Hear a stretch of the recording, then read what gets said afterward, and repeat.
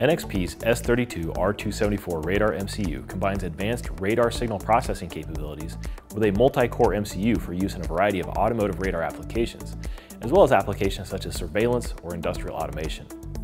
The radar platform integrates high-speed analog interfaces and waveform generation, as well as NXP's Radar Signal Processing Toolbox 2.0 to accelerate signal processing for best-in-class performance per watt.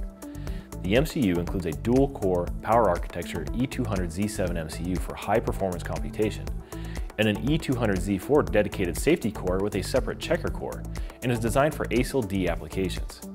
NXP's S32 R274 also includes a cryptographic security engine, 2 MB of on-chip flash and 1 MB of SRAM, both with ECC, and is AEC Q100 Grade 1 qualified.